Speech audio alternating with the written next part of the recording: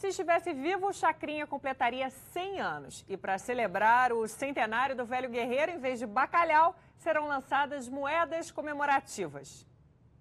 Alô, alô, colecionadores e fãs. Essas são as medalhas que a Casa da Moeda irá lançar em comemoração aos 100 anos de Abelardo Barbosa, o Chacrinha. Os detalhes impressionam e nos levam de volta aos anos 80, década em que o comunicador fez história na televisão brasileira. Toda a irreverência do velho guerreiro estampada em 50 milímetros de diâmetro. Na peça, imagens que simbolizavam o programa de calouros. Na criação das peças foi utilizada uma técnica inovadora capaz de colocar cores nas medalhas. Olha só, de um lado tem o rosto do Chacrinha com a marca de batom da jurada El Que Maravilha e do outro o troféu abacaxi totalmente colorido. O Chacrinha sempre foi um personagem que trabalhou com é, animação, né? Então, muita cor no programa, muita cor em todo, toda a obra dele.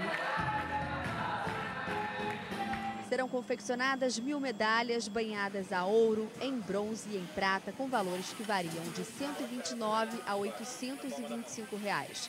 A família de Abelardo Barbosa irá receber de presente oito modelos. E se na TV nada se cria, tudo se copia, com a medalha é diferente. No próximo dia 30, data do aniversário de Chacrinha, os moldes serão destruídos para evitar cópias.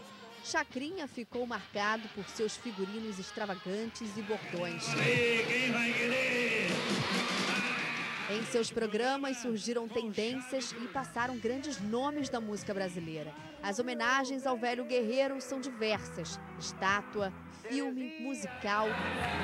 Tantas que emocionam o Leleco Barbosa, o filho que cuida de todo o acervo do pai. O poder de comunicação dele era uma coisa muito forte que até hoje está aí. Não tem um artista que tem tantas homenagens e é tão lembrado como esse homem é lembrado.